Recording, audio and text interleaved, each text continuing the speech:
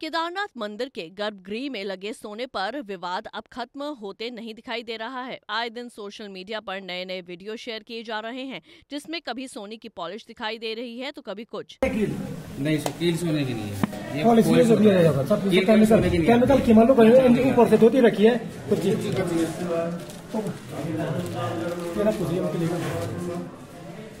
ये कुछ कुछ गला कुछ गला ये तो मिलाना पड़ता है ना उसमें तभी तो गलेगा तुम पानी चढ़ा रहे हो नहीं नहीं मिला के चढ़ा रहे पानी नहीं चढ़ता ये सब तो क्यों? वहीं वीडियो सामने आने के बाद से ही केदारनाथ मंदिर के तीर्थ पुरोहितों ने इसका विरोध करना शुरू कर दिया है। हालाँकि वायरल वीडियो को लेकर बद्रीनाथ केदारनाथ मंदिर समिति ने पहले ही सफ़ाई दे दी है लेकिन इसके बावजूद भी यह विवाद अब थमता नज़र नहीं आ रहा है। वहीं इसको लेकर अब कांग्रेस भी सरकार पर हमलावर हो गई है। पूर्व मुख्यमंत्री हरीश रावत ने इस पूरे मामले की जाँच की मांग की है।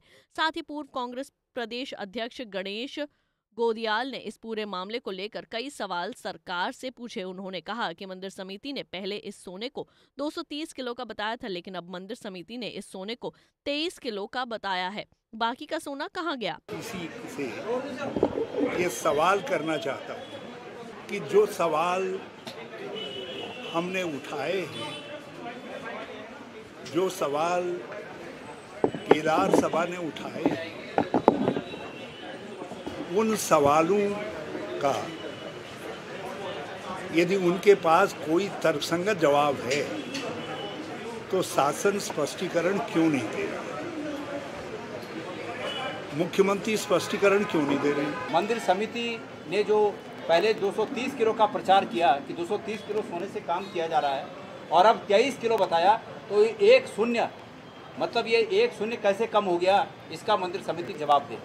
उन्होंने पहले 230 किलो के प्रचार को खंडित क्यों नहीं किया? उसका खंडन क्यों नहीं किया कि ये 230 किलो नहीं है, सिर्फ़ 23 किलो है? मंदिर के गर्भगृह में लगे सोने को लेकर उठाए जा रहे सवालों का जवाब मंदिर समिति पहले ही दे चुकी है।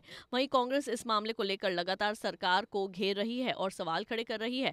फ़िलहाल जो भी हो इस मामले में जाँच होनी चाहिए और अगर सारे आरोप झूठे साबित होते हैं तो सवाल उठाने वालों पर भी कार्रवाई होनी चाहिए, क्योंकि ये कोई राजनीतिक मामला नहीं है, बल्कि लोगों की आस्था से जुड़ा हुआ मामला है। इससे मंदिर ही नहीं, बल्कि पूरे प्रदेश की छवि खराब हो रही है। पंजाब केसरी टीवी के लिए आशीष रमोला की रिपोर्ट। हमसे जुड़े रहने के लिए हमारे YouTube चैनल को सब्सक्राइब करें और नई वीडियो की नोटिफिकेशन के लिए बेल आइकॉन को दबाएँ। अगर आप ये वीडियो Facebook पर देख रहे हैं तो लाइक ज़रूर करें और ज़्यादा से ज़्यादा शेयर करें धन्यवाद